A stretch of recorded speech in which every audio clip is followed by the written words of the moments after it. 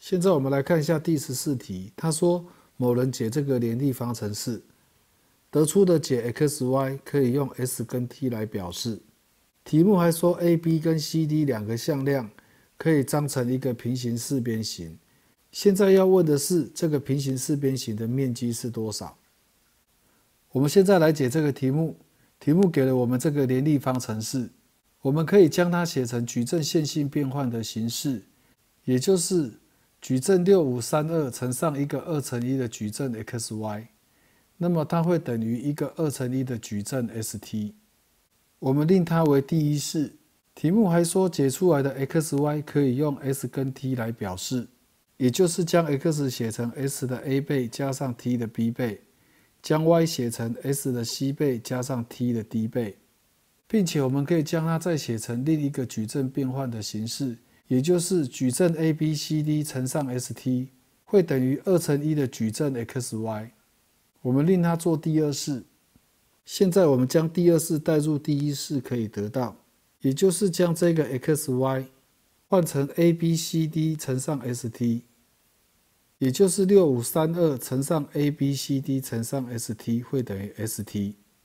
这时候我们可以发现这两个 s t 是一样的，这也就说明了它会是等于单位矩阵一零零一。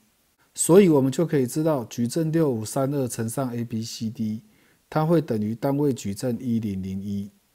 接着我们在矩阵六五三二的左边乘上它的反矩阵。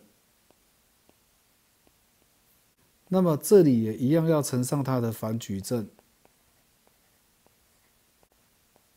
因为这是单位矩阵，所以这两个矩阵乘起来就是这一个反矩阵，所以我们可以推得矩阵 a b c d 它会等于矩阵六五三二的反矩阵。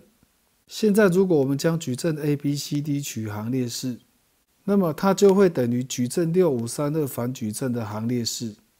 矩阵六五三二的行列式，它会等于十二减十五是负三。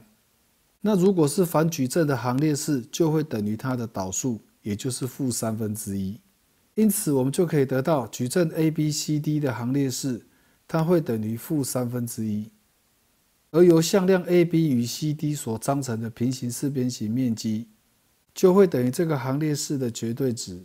所以它就会等于负三分之一的绝对值，会等于三分之一。所以这个题目的答案就是三分之一。